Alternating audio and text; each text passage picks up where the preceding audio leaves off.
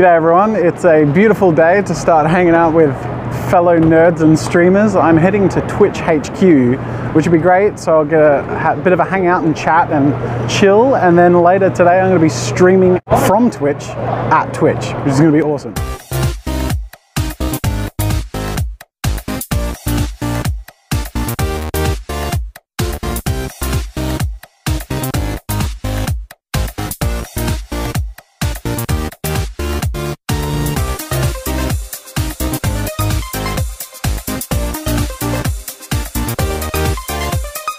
Right, I've been taking I've been taken into a dark and quiet room to experience scratch and sniff wallpaper. Apparently, do you have to she's closing the blinds just so we don't reveal how stupid we look as we scratch and sniff walls? But I can see the nail marks of former prisoners. you just just anywhere or Yeah, just I, I, specifically the cherries? You should probably scratch the cherries. Okay. Oh, that's nice. That's good. hmm. There's another wall. This is the banana wall. Maybe I didn't scratch hard enough. Is it? Are you pranking these me? Are well used. These are well used. Are they? All right, I'm gonna go a more obscure banana. This is totally a No, prank. This isn't a prank. This, This is, a prank. It's You're like, real. we have this scratch and sniff wall, and then all of the walls are scratch and sniff walls. Just so you have people walking around your offices doing this. Next, This is a prank. No, next There is no smell. no, no, we're gonna take you to the poop emoji wallpaper next. Are you being serious? No. This is not real. There is It no is, smell. It is. This no. You can totally I'm smell sorry. This is a lawsuit waiting to happen. Yes, I'm going to sue you for false advertising. This is a prank. You are forcing me to scratch it. You are not forcing me, but I'm pretty- I'm I'm stupidly sure. opting in to scratching and sniffing your banana wall. Mm. Yeah, yeah. There is. There's. Wait. the other one's. Wait. Smells like scratched wallpaper. Get out. This this wallpaper is disappointing. I think this one's expired. You need new scratch and sniff We do. wallpaper. Can somebody please send new scratch and sniff wallpaper because we could really use it.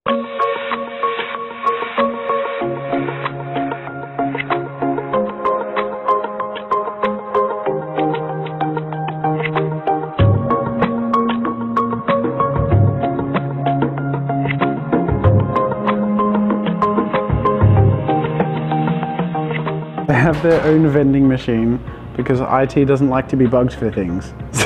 they sell like what's, what's in here? Keyboards and peripherals. Oh, oh, and of course Twitch energy drink because you know hashtag swag.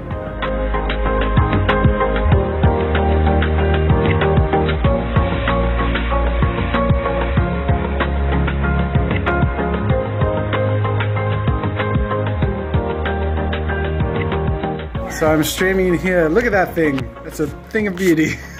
Big cabinet. All right, I am gonna decimate this. That'll be fun. Yay! All right, how many markers do I get to work with? streaming now? Two, but I'll grab you. No, I'm just. This is for my vlog. Say hi. hi. All right, so I could um, plug in there and webcam it, and I'll need to connect to Wi-Fi or have a LAN cable. Yeah, we'll, we'll get we'll get you. So, you took my arm spot. No, that's right. Come back. We can share. so I'm here with Moss from Twitch. Uh, you go way back with Twitch, right? But I actually thought while I'm here, we could we could go way back together. Uh, into Trip the, through time. Exactly, a trip through time into Twitch Creative, because a lot of people in my community know about Twitch because I stream on Twitch every week where I can, and I'm not traveling internationally.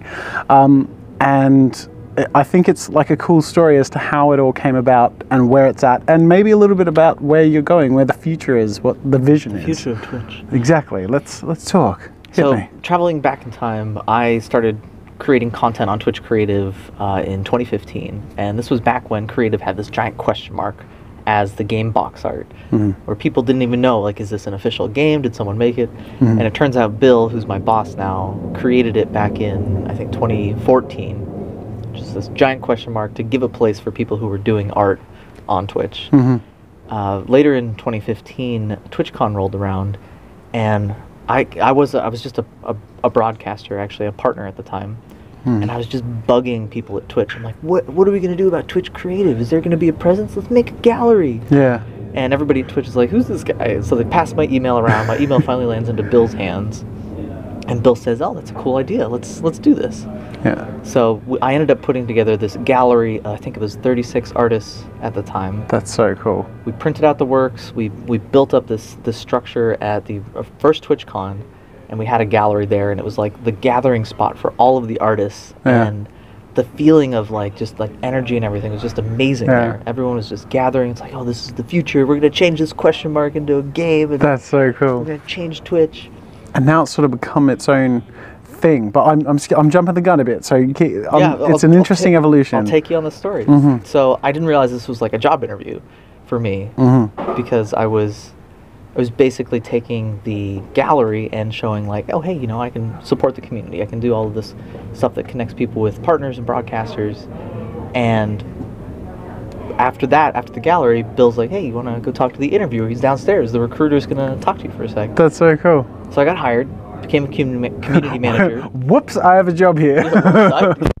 okay. that sounds good. Just like a banana peel on the floor, and you slid into the interview like room, like, oh, and you'd already been working for them for a couple of weeks. Yeah. And okay, I have a job.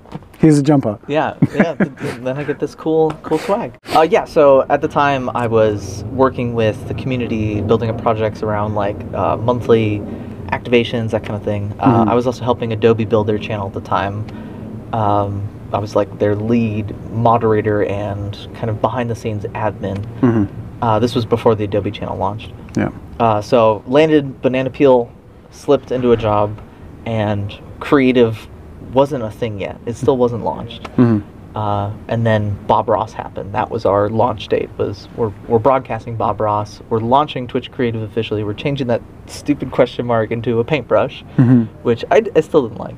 Mhm. But we we launched it then, and the team was four people. And since then, we've grown to 16 people on our team. hmm We have uh, all of these different content initiatives. We, we ran the animation contest with you, hmm done a bunch of contests. Uh, right now, my job is to just make sure the community is fostered and loved. hmm We've hired more community managers to help out with social media, That's awesome. but everything from like TwitchCon and PAXs and everything. That's that's where we're trying to really push creative out there and make sure Yeah. it's supported. That's awesome. And we've been chatting while I've been here today about ways that we can work together to help animators on my YouTube channels who are interested in ways of, you know, growing their own communities and, and serving their own creation process to help supplement their content and, and their own platforms and channels and stuff. So there's hopefully there will be ways that we can work together in the future. But Yeah. tell me a little bit about Twitch Creative's vision for the future. What's the hope? What what do you guys want to get out I of think the the the hope, the dream, and the direction that we're taking right now is really integrating creative with the rest of what Twitch is is doing. I think the big thing that we've seen is that creative has been this like special snowflake that kind of sits on the side and gets Mhm. a different kind of support Mhm. than the rest of the company, and we're trying to, or the rest of the content initiatives that we're focusing on, like speedrunning or Mhm. esports. Yeah. So we're trying to fold it into everything. Yeah. So everything we're doing, we're trying to think, how does this affect creative? How does how can we support creative with this initiative or this product? That's great. So it's being it's it's shown to be a success, and now it's okay. How do we fold this in into everything Yeah. that is Twitch?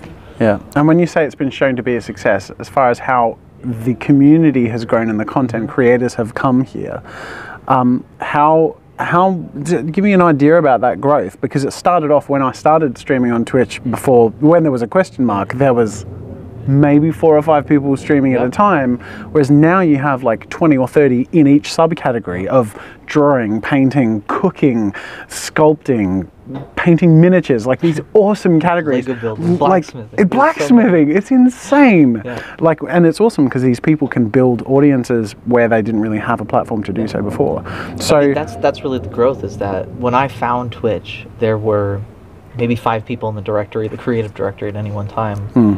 And now we have maybe 200, 250 probably live right now. Yeah. And that's the growth that we've seen with people coming to the platform, the platform to broadcast. Hmm. We've also seen the growth in that Twitch as a whole has kind of like accepted it and brought in the viewership that you know a normal person who watches Overwatch, competitive Overwatch, Mm-hmm. is now saying, "Oh, you know, I want to check out Lego speed building, or Yeah. I want to check out someone making a knife um, in their backyard." Yeah. So it's kind of that's the success of like being integrated into the brand. Hmm. It's funny we still see people who are like, "I didn't know this was a thing on on Twitch." Yeah.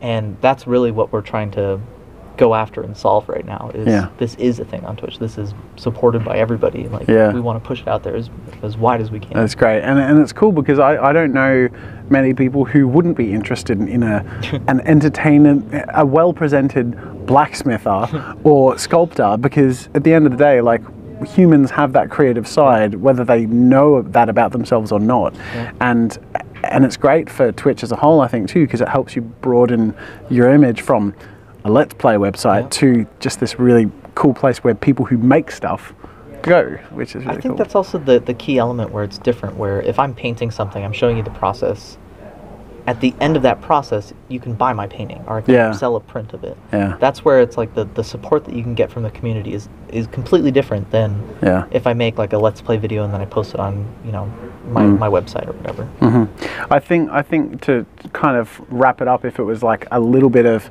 a little nugget of helpful information to you guys, people who want to make a career out of art or even just start to have some supplementary income, Twitch is one of the best places to hustle because you're making stuff. You're spending your time making your portfolio, your animations, your cartoons, or your images or your sculptures, um, and it it doesn't take away from the effort you're putting into things. It just mm-hmm. turns that process into content that can become clients, become an audience, and become your brand. So, Yeah. yeah, check it out.